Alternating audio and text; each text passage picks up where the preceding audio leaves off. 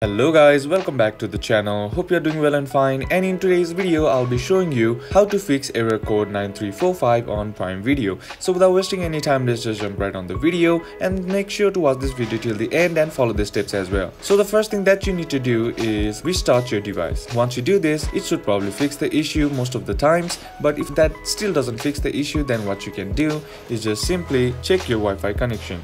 Now to do that, head over to your web browser and on the search bar simply type in speedtest.net and hit go. And once you're here, tap on go once again and check to see if your internet connection is strong or not. Sometimes the weaker internet connection also might be causing the issue that you are facing, so just simply switch over to strong Wi-Fi connection and try again. If that still doesn't fix the issue, then what you can do is just go to the settings app and then tap on general, then tap on iPhone storage and now once it loads, scroll down and then tap on Prime Video. And once you're inside tap on offload app and then tap on offload app to begin the process. And what this does is it resets the app by clearing all the glitches and bugs that is present in the app. And once you're done with that instead of this offload app you'll have an reinstall app. Simply tap on that. And once that process is complete all you got to do is try again and that should fix the issue. And that's it for today's video guys. Hope this video was useful to you. Leave a like if it did. Comment down below what the next video should be on. Consider subbing to the channel.